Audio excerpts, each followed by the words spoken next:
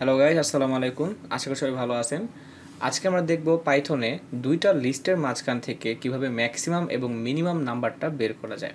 আমরা প্রথমে যেটা করব, যেহেতু দুইটা লিস্টের মাঝখান থেকে আমাদের ম্যাক্সিমাম এবং মিনিমাম নাম্বারটা বের করতে হবে, তার জন্য অবশ্যই আমাদেরকে দুইটা লিস্ট ক্রিয়েট করতে হবে। আমি এখানে এ নামে একটা লিস্ট ক্রিয়েট করছি এবং বি নামে একটা লিস্ট আমি এখানে ক্রিয়েট করছি। তো আমরা একটা ভেরিয়েবল নিয়ে বলব যে কতগুলো আইটেম বা ভ্যালু আমরা আমাদের দুটো লিস্টের মাঝে দিতে চাই। তো সেটা আমরা লিমিট নামে অথবা আমি এখানে এন নামে একটা ভেরিয়েবল নিলাম। আমি সেটাকে ইনপুট নিলাম। ইনপুট নামে এখানে বলে দিলাম যে how many number you wanna input right then আমি একটা ফর লুপ ইউজ করব। ফর আই ইন রেঞ্জ আমি এখানে জিরো থেকে শুরু করে এন পর্যন্ত নিলাম। অর্থাৎ আমার ফর লুপটা জিরো থেকে শুরু করে এন পর্যন্ত নিবে। যতটুকু পরিমাণ ইনপুট আমরা সেখানে, এখানে নিব, ততটুকু পর্যন্ত আমাদের লুপটা চলবে। এবং সেই লুপের মাঝে আমরা আইটেম নামে একটা ভেরিয়েবল নিলাম এবং সেই আইটেমটাকে আমরা এখানে ইনপুট নিলাম। এবং আমি এখানে বলে দিলাম এন্টার ইউর আইটেম যখন আমরা কোনো একটা লিস্ট তৈরি করি, সেই লিস্টের মাঝে বিভিন্ন প্রকার আইটেম দিতে হয় বা আমরা বিভিন্ন প্রকার আইটেমগুলোকে অ্যাড করি। তো সেই আইটেমগুলোকেই এই যে যে লিস্ট এই লিস্টের মাঝে কতগুলো আইটেম আমরা নিব সেটা আমরা এখানে ডিক্লেয়ার করলাম যে এত পরিমাণ আইটেম আমরা নিব এবং সেই লিস্টের মাঝে যে সকল আইটেমগুলোকে আমরা নিব, সেই আইটেমগুলোকে আমরা যেখানে ইনপুট নিচ্ছি। যেহেতু আমাদের এইখানে দুইটা লিস্ট ডিক্লেয়ার করেছে, আমি দুইটা লিস্টের জন্যই মান এখানে আমি ডিক্লেয়ার করব। তো আমি এখানে বলতে পারি ইন্টারভিউর ফার্স্ট লিস্ট আইটেম যেহেতু আমি দুইটা লিস্ট ডিক্লেয়ার করেছি, আবার আমি এখান থেকে এটা কপি করে নিচ্ছি। কপি করে নিয়ে শুধুমাত্র ভেরিয়েবলটা চেঞ্জ করে দেব। আইটেম টু দিলাম, এবং এখানে বললাম যে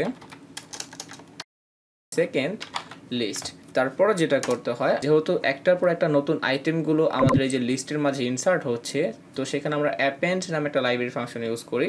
অ্যাপেন্ড নামে লাইব্রেরি ফাংশন ইউজ করে একটার পর একটা আইটেমগুলোকে তার মাঝে আমরা ইনসার্ট করে দিই।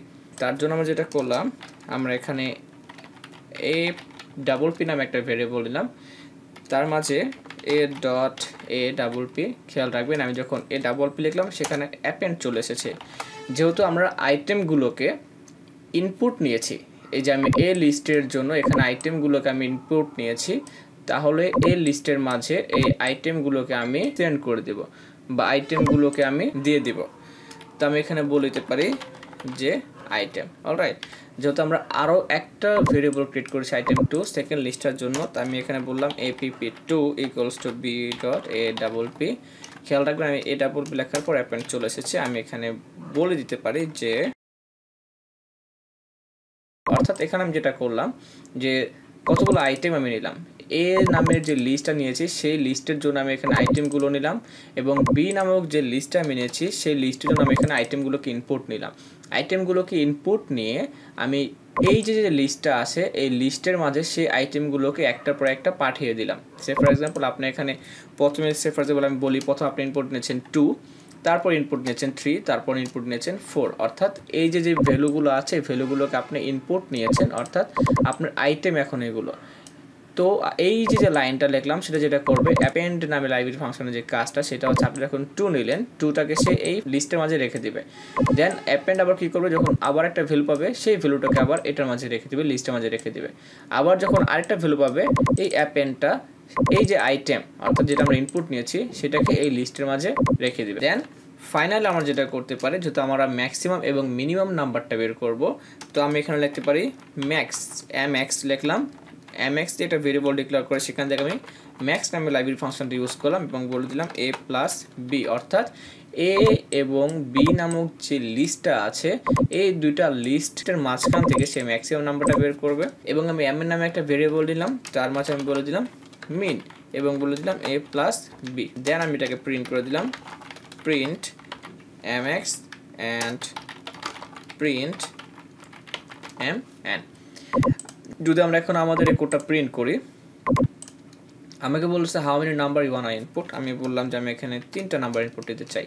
তো আমরা এখানে একটা কিন্তু ইরোড দেখাচ্ছে। ইরোড দেখাচ্ছে কারণ হচ্ছে, যদি একটু খেয়াল করি STR object can not be interpreted as an integer এই যে এখানে ফর লুপের মাঝে আমরা যে অ্যানটা ইউজ করেছি, এই অ্যানটাকে যখন আমরা ইনপুট নিয়েছি, তাকে আমরা বলে দিইনি যে সে আসলে ইন্টেজার ভ্যালু হবে।